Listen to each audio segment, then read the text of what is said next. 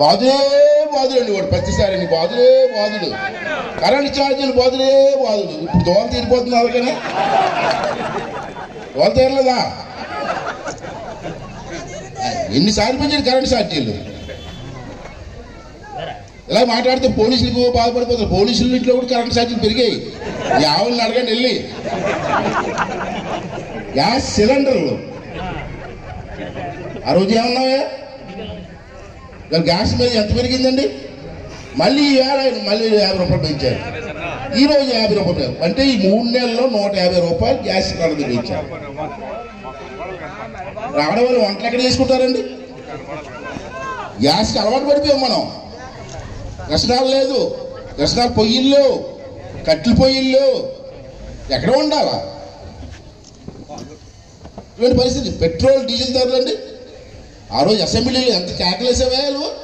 భారతదేశంలో ఏ రాష్ట్రంలో లేనట్టు పెట్రోల్ ధరలు చంద్రబాబు నాయుడు అమ్మేస్తున్నారని చెప్పి ఓ గొగ్గోలు పెట్టేవే.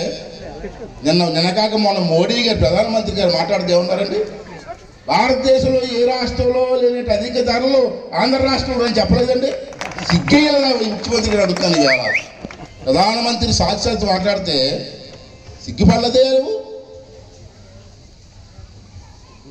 నిత్యావసర వస్తువులు ఎలా పెరిగాయండి? సామాన్యులు బతకగలరా ఆ రోజు బాధుడే బాధుడు అన్నావు కదా. ఇవాళ నువ్వు చేసింది ఏంటి? సామాన్య ప్రజలు బతకలేని పరిస్థితి ఉంది కదా.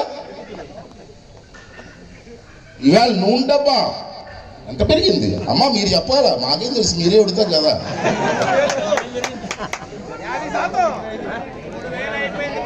ఇవాళ నూనె డబ్బా. అరే కొడాలి నానిగాడు. గుడివాడు రౌడీ. ఆడేమన్నాడండి నేను వస్తే తెల్ల తెల్ల తెల్ల బియ్యం సన్న బియ్యం ఇచ్చేస్తాడు ఒక్క బియ్యం ఇచ్చి ఏ బొక్క ఇచ్చి చెప్పండి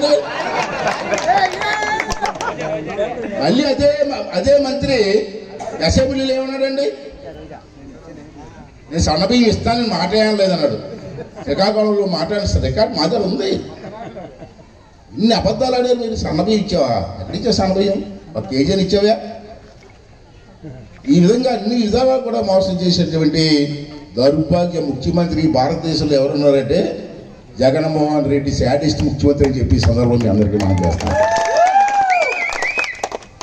అంతేకాకుండా ఇవాళ రాష్ట్రాన్ని అప్పులు పాలు చేశారు. చేయకండి కరెంట్ లేదు.